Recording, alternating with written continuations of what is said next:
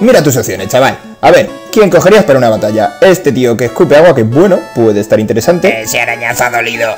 O por otro lado tenemos a Bulbasur que... Mm, ¿Qué cojones es eso que te sale del culo? Yo no lo puse ahí. Y aquí, el rey de lanzallamas. Piensa, ¿quién llevarías en una batalla?